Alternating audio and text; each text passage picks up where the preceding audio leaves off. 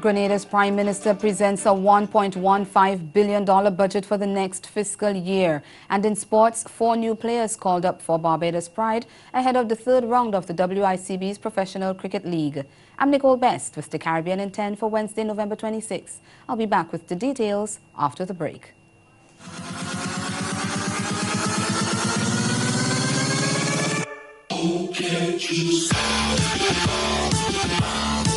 We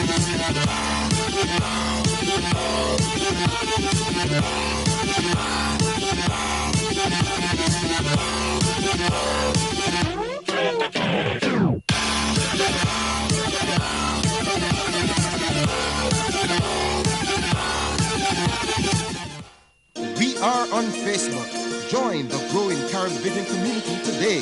Go to www.facebook.com forward slash Caribvision. Be a part of our online family, whether you are located in Canada, the USA, or even farther away. Caribvision is about what it means to be from the Caribbean, our culture, our lifestyles, our voices. Log on or switch us on. Caribvision.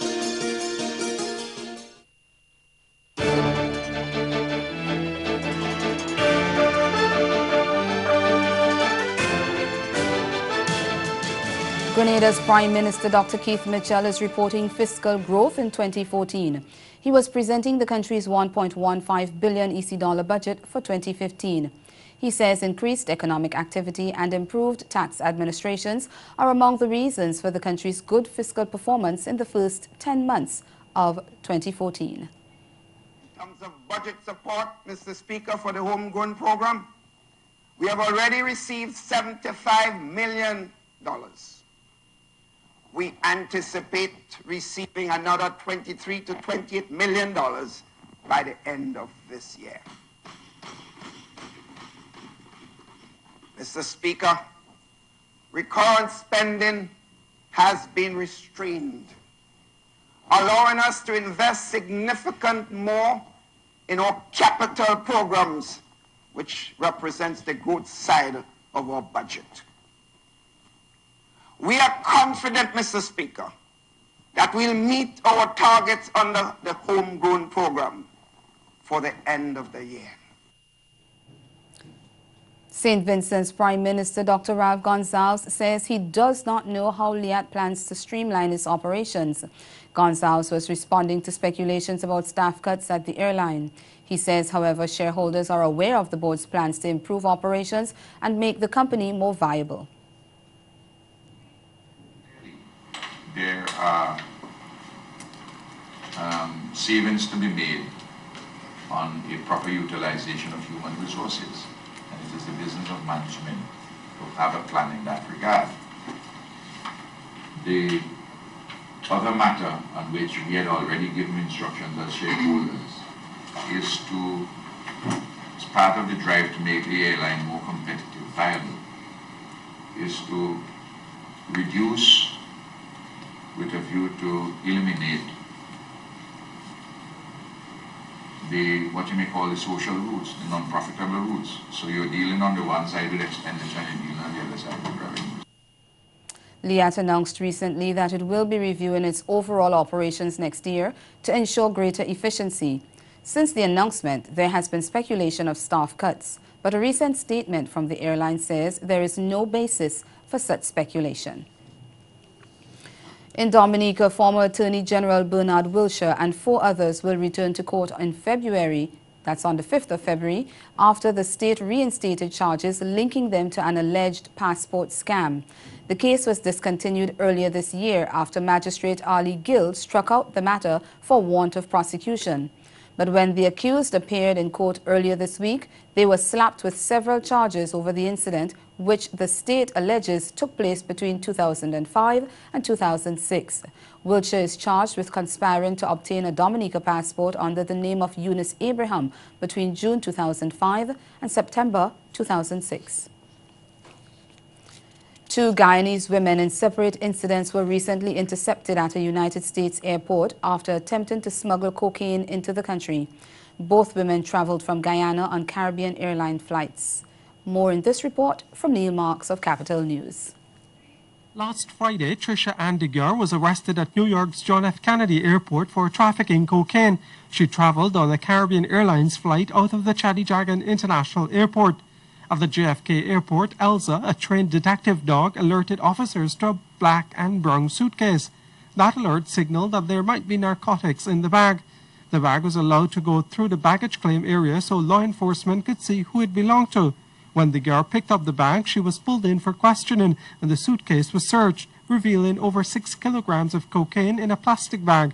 The woman said she was expecting to be paid 10,000 US dollars for the cocaine by someone she had arranged to hand it over to in New York. Trisha Ann DeGuer remains in custody in New York.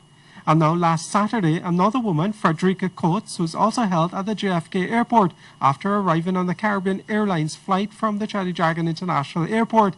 At the New York airport, she was selected for a custom search. She had four bags, including a plastic bag with five hardcover books. An officer examined the books and found they were unusually thick, and so she was escorted to a private area. And as the officer checked the books properly, a white powdery substance was noted and later tested positive for cocaine. The amount of cocaine weighed at almost two and a half kilograms. When we come back, we take a look at sports.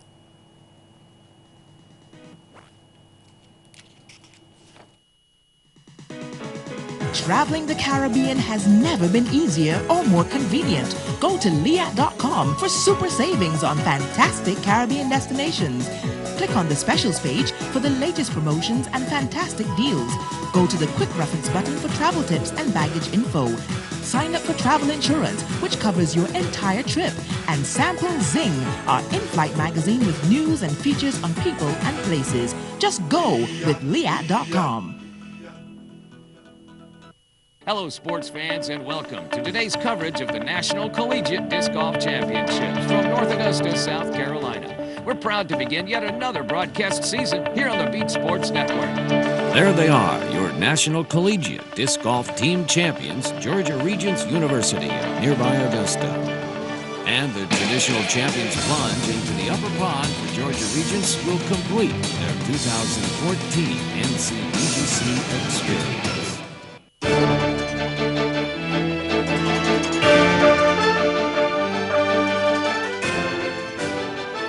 Discarded West Indies pacer Tino Best is among four players called up by Barbados Pride selectors for the third round of the Professional Cricket League starting Friday.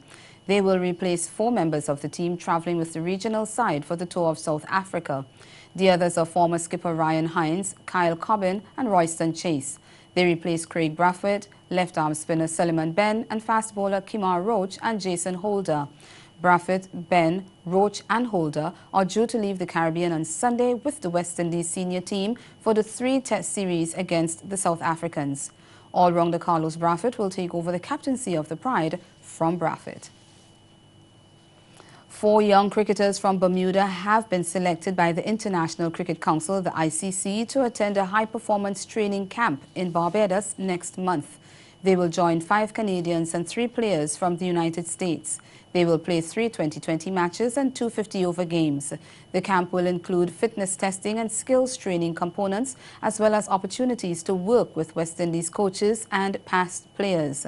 Bermuda Cricket Board President Lloyd Frey says he is pleased that the local youth program is producing international quality players who are being offered performance opportunities by the ICC. Trinidad and Tobago's Soca Princesses enter their final phase of preparation for crucial decider.